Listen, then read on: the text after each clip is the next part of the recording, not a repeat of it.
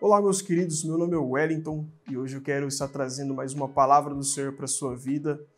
Né? Hoje nós vamos falar um pouco sobre eternidade, eu quero falar um pouco sobre esse tema que às vezes é até pouco falado dentro da igreja, dentro né, do nosso meio, mas que deveria ser o, o foco das nossas vidas, deveria ser né, aquilo que a gente mais fala né, nas nossas vidas, porque de uma, uma, coisa nós temos certeza nessa vida, né? De que nós vamos passar a eternidade com Cristo, de que nós vamos passar a eternidade com Jesus, né? Então, por que eu deveria falar disso? Por que, que nós deveríamos é, ouvir sobre isso? Hoje em dia, muitas pessoas é, têm uma certa dificuldade em se manter fazendo a obra de Deus, porque quando você começa a fazer a obra de Deus, quando você começa a trabalhar para Jesus nessa terra, muitas coisas, inimigos, pessoas, né, o próprio diabo, vai se levantar contra você. Porque esse mundo, ele, né, a palavra do Senhor diz que no mundo jaz o maligno. Ou seja, o diabo ele está nesse mundo. Ele atua através de coisas, através de pessoas. Às vezes ele não pode tocar a sua vida, mas ele pode tocar tudo aquilo que está ao seu redor, né, para tentar te abalar. Mas nós temos uma esperança. A palavra do Senhor vai falar lá em 2 Coríntios no capítulo 4, vai falar que porque a nossa leve e momentânea tribulação produz para nós um peso eterno de glória muito excelente, não entendendo nós nas coisas que se veem, mas nas que não se veem, porque as que se veem são temporais e as que não se veem são eternas. Ou seja, olha que palavra maravilhosa ela já está trazendo para nós essa ideia de que nós precisamos estar com a nossa mente, o nosso coração focado na eternidade, focado na presença de Deus, nas coisas de Deus, porque nós vamos passar a eternidade com Ele. Então, já imaginou, cara? Porque nessa passagem ele está falando para a igreja de Coríntios. E, cara, a igreja de Coríntios foi grandemente perseguida, talvez muito mais perseguida né, do que até algumas igrejas que são perseguidas no nosso tempo.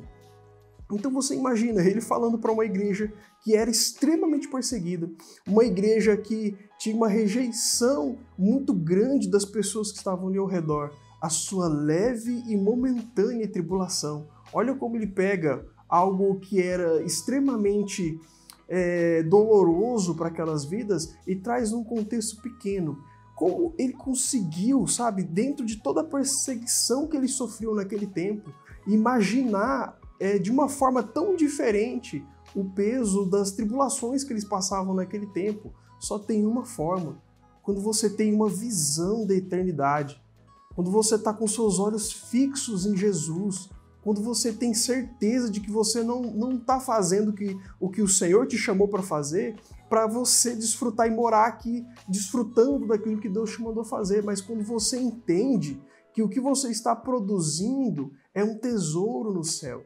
E infelizmente nós temos muitas e muitas pessoas que estão produzindo coisas para essa vida, né? Para esse mundo, né? Buscando dinheiro, buscando os bens materiais, né? E por isso que eu convido você, sabe, a sondar, a, sondar mesmo o seu coração, sondar mesmo as suas intenções nessa vida, sabe? Você realmente está fazendo essa faculdade é, para a glória de Deus, para abençoar vidas? Porque eu vou falar para você, eu já vi muitas pessoas dizendo eu quero fazer medicina para buscar Deus, para falar o nome de Deus. Eu, na minha infância, eu passei muito tempo num hospital, muito tempo mesmo. E aí eu tive bronquite, eu tive várias outras doenças, eu tive um problema nas pernas que as minhas pernas nasceram tortas, eu tive que fazer cirurgia para consertar isso.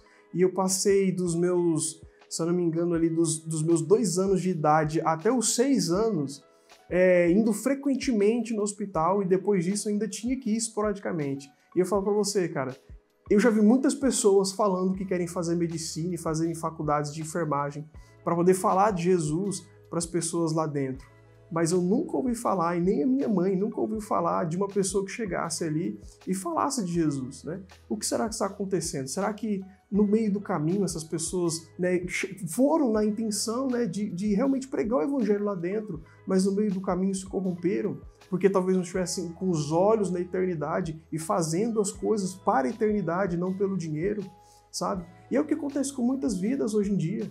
Você às vezes começa bem, você começa, a palavra do Senhor até diz, né, que terminar é melhor do que começar bem. É melhor você terminar algo bem feito do que você começar bem feito. Então, onde está o seu olhar e onde está a esperança da sua vida hoje? Sabe, ela está no seu emprego, está no salário que você vai receber, ou ela está em Cristo? Porque eu te digo, eu, eu trabalho muito com pessoas que são moradores de rua. E ultimamente eu, eu converso com, algumas, com alguns amigos e eles falam muito sobre segurança, né? Dizem assim que hoje em dia as pessoas querem muito se sentirem seguras, né? Por isso que essa pessoa vai fazer uma faculdade antes de é, seguir o chamado dela como missionário, né? Ela vai fazer algo diferente um pouco antes para poder né, ter uma segurança. Mas eu digo para você, muitas daquelas pessoas com que a gente trabalha ali dentro daquela favelinha, dentro dessas bocas de fumo onde a gente vai, são pessoas formadas, pessoas com faculdade de direito, pessoas com faculdade de estética, de medicina, médicos, enfermeiros, engenheiros, pessoas com faculdades que eles achavam que, que iriam sustentar eles. Mas o que aconteceu no meio do caminho, sabe? Quando nós não estamos com o nosso coração e a nossa mente focado em agradar a Deus e nos aproximarmos dele completamente, o, nós corremos o risco de cair em várias armadilhas, né?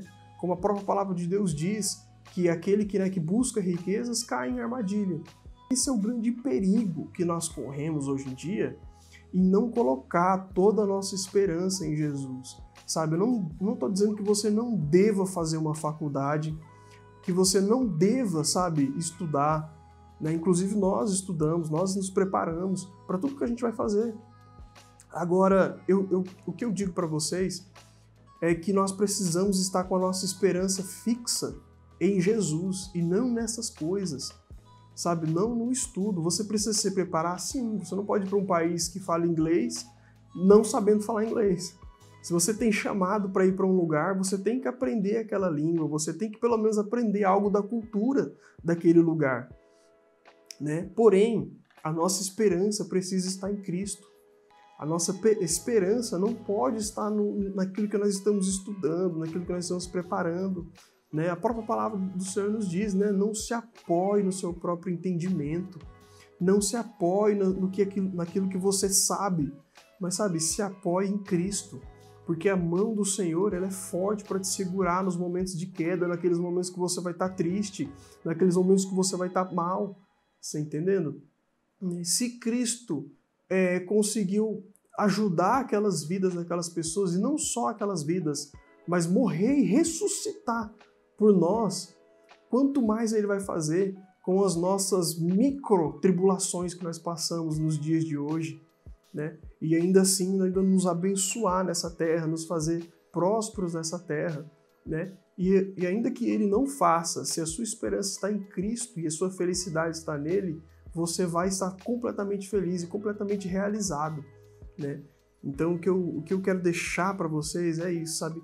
Tenha a mente focada nos céus, tenha a mente focada em Jesus. Ele é o único que merece 100% da sua atenção, mais nada nesse mundo merece, mas ele merece porque ele deu 100% de si, né? Ele não veio metade, ele não veio é, 1%, 10%, nem 90%, ele veio 100% né, se fez carne por nós, deixou a sua glória né, para nos salvar, para nos levar para perto dele. Eu acredito que o mínimo que nós podemos fazer é entregar de, de vez mesmo a nossa vida o nosso coração para Cristo.